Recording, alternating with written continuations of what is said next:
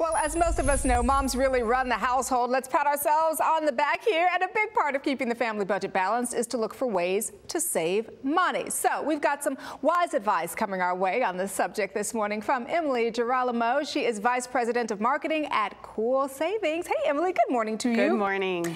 I'd love to save. Many of us, especially in these economic times, but we feel like we've already stretched our budget and our finances so thin that we can't stretch anymore. And I'm sure this is something that you hear all the time. Yes, well, time is money. Yeah. So we need something easy and convenient. Um, making little shopping changes in your shopping habits, like researching coupons online or comparing prices before you shop on those big ticket mm -hmm. items, can and do ease the strain on your wallet. And you know, one of the other things that a lot of my girlfriends love to do is couponing, but for me, I'm thinking the Sunday paper, they gotta look through the paper, you gotta clip it with the coupons, you have to file it away. It seems like a lot of work. And you mentioned time, you know, is yes. money, and a lot of us just don't have the time. Yes. So there's still a lot of great savings to be had in the flyers. Uh, but if you want a more easy and convenient way to do this, mm -hmm. go online. So at coolsavings.com, which is, actually a lot of people know us as the pig with sunglasses. Uh, right, right, right, right. Um, you can go on, browse through coupons, mm -hmm. click them, and then print them. Or you can also browse through them, click on them, and save them to your shopper card.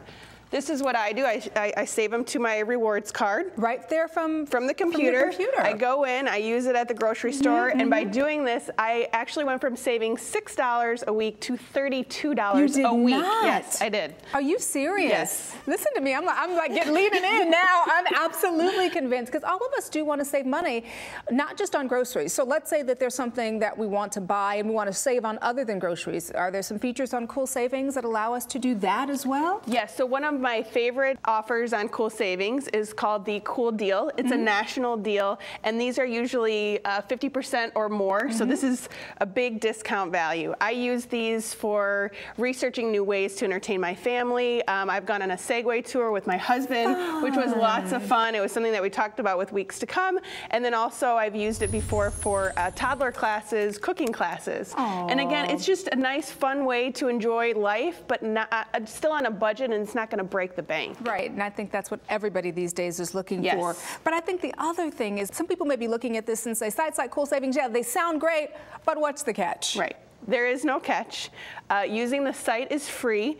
If you want tailored savings to around your area, you use your zip code. Yeah. And if you want tailored savings to categories that you like, pets, uh, grocery, kids and babies, Mm -hmm. health and beauty, travel, whatever you want, then you go in and you tailor it. There's also a cool savings community. This is a great way to just talk to other people who want to share savings tips or recipes or whatever else, or creative idea, gift nice. ideas yeah, like yeah, for yeah. Father's Day or Valentine's Day. Easy to do at home things that aren't going to break the bank, but are easy and convenient because again, time is money. Absolutely. And I think the fact that almost everybody is on a computer these days, they're already on it anyway. So at the end of the day, then what do you want people to know? Know about Cool Savings?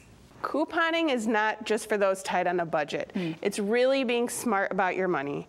There's three tips that I would walk away with. One, always do your research on coupons before you go to the grocery store. And by research, I don't mean that you have to spend hours on a computer. It's what am I gonna go buy this week? I'm gonna click on those coupons, save them to my grocery card, and boom, you save almost four times more at the grocery store four a week. Four times more, yes, wow. At least that's what I did. Mm -hmm. Number two, compare those prices on the big ticket items. Before I go on vacation and maybe I need a new digital camera, I go online, I comparison shop and say, okay, where can I save 20% off of this digital camera, and you can. Mm -hmm. um, and three, at the end of the day, there's fun things to do with your family that aren't going to break the bank. So if you make those little changes in your shopping habits, it can and will ease the strain on your wallet. I love that. So can I call you for that advice on $36 savings in case I forget? Sure. How to do it? Okay. See, I've got a little inside there. Thank you, Emily. Good to meet you. You too. Thanks for having me. And if you want a little inside information yourself and you want to see what it's all about and sign up, simply go to the website. It is coolsavings.com.